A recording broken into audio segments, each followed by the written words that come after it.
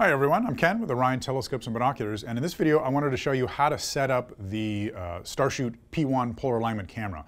You're going to get uh, a box, obviously, with your uh, P1 in it, but it's going to come with the camera, uh, an adapter for your specific mount, and then a couple of little accessories. So let's go through step by step and show you how it fits onto the mount.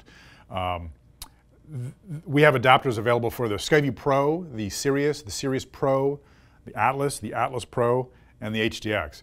Uh, in this video, I'm going to show you on the Sirius mount um, how it attaches. It's pretty much the same with all of the other equatorial mounts, except for the Sirius Pro and the HDX, which instead of a circular hole in the side, it just bolts onto two little uh, screws on the side. That one's a very simple installation. So um, I'm going to show you on the Sirius here. So the first step is the mount adapter. Um, this is going to come separately in the box, and it's actually two pieces. If you unscrew the little set screw here, you can pop it off, and you've got uh, two sections. The mount adapter, this is the part that attaches to the mount itself, and then the camera adapter. This is going to bolt onto the back of your camera. Um, let's see, I'm going to show you the camera adapter first, so let's go to this one next. So the camera adapter has three holes in it, and they line up with the three holes on the back of the uh, polar alignment camera. Now this ring is the same in all of the adapters, so once you bolt this on with the included three uh, little Phillips uh, screws, you can just leave it on. And let's say you have a Skyview Pro mount and an Atlas mount.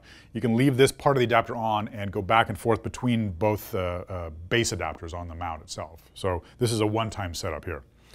So rather simply, you're just going to take a small Phillips screwdriver like I've got here, and each screw goes in, lines up, and just tighten it down, making sure the little flange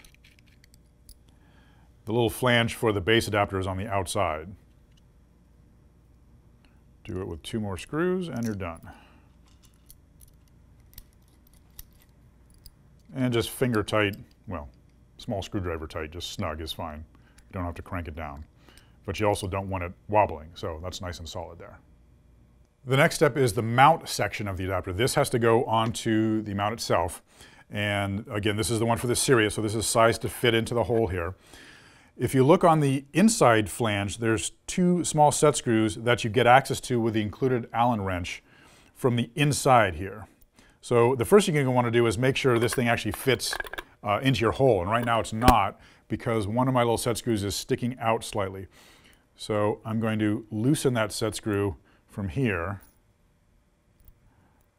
so it doesn't extend out below the flange. That way it's going to slip into the mount easily.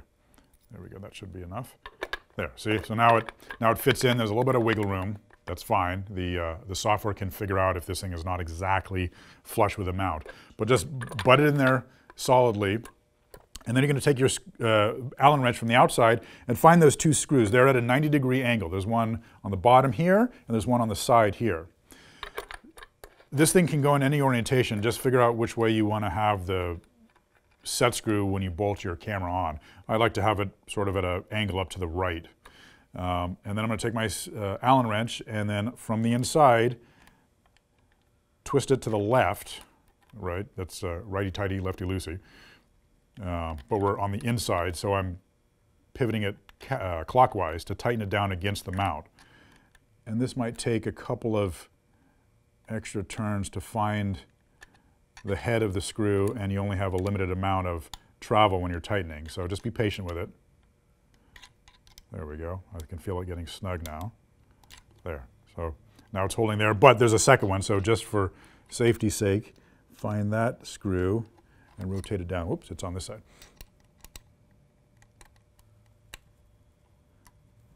There we go. That's getting snug. And now it's bolted on there, it's not going anywhere, and it's pretty much flush against the mount. Remember, you don't have to be exactly flush, so if you have a, if, if you stuck it on there and it's sticking up a little bit, the software can figure it out, but um, just for ease of use, just push it down against the mount and tighten it down, and that's all you need to do.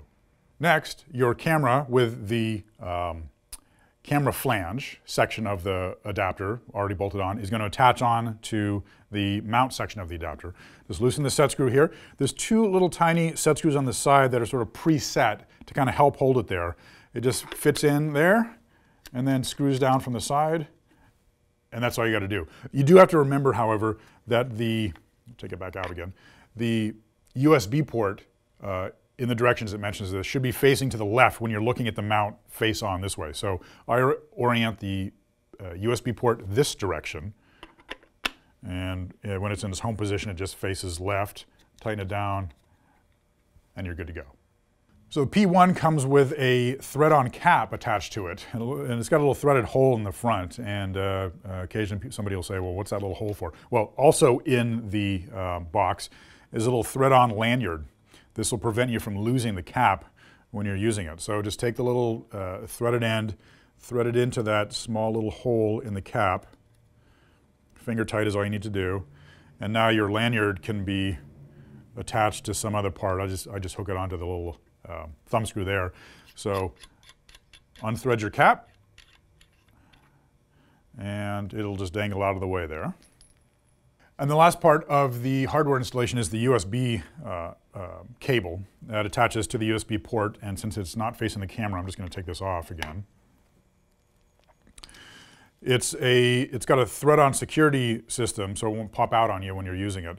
So just simply attach the USB cable into it and then thread down the two little uh, thumb screws on the side and you've got a very secure USB connection to your camera.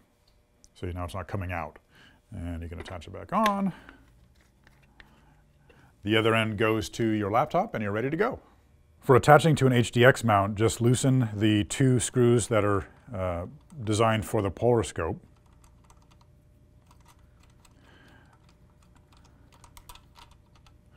and install the bracket with the screws. Use an Allen wrench to make sure they're snug.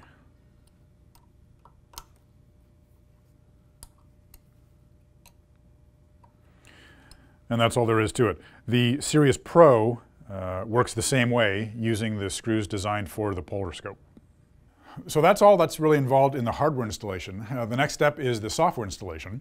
Um, the software is a download available on our website. It's listed in the manual, the link of how to get it. Uh, there are two uh, files to download, the driver for the camera and the uh, application itself. So install both of those, go through the manual. There's a uh, help menu, uh, a help menu in the software that includes the full instruction manual. Um, and you can also download the manual on our website. And then after that, it's just a step-by-step -step, system to get Polaris in the field of view, to get it polar aligned. You might think that's the difficult part, but, but, trust me, you've already done the difficult part. The, the hardware installation was, was the hardest part. The software, uh, getting Polaris in the field of view is super quick and easy. It involves finding Polaris in the field of view. Remember, it's already uh, focused, and you've got an 11 by 8 degree field of view, so it's a very wide field. So just get Polaris pretty much in the middle of the field of view. You click on Polaris, it asks you to rotate the mount 30 degrees, and then 30 degrees again as it watches the uh, star field rotate around. So it identifies where the center of the axis of rotation is. And then it'll put a little overlay there and tell you exactly where to put Polaris in the field of view. And you use your latitude and, well, that's the azimuth and the latitude adjustments on your mount to get Polaris right in that spot that is identified and you're polar aligned. Just as quick and easy as that. All right, well, there you have it. This is the uh, uh, setup uh, and installation for the Starshoot P1 uh, polar alignment camera. Thank you very much. Clear skies.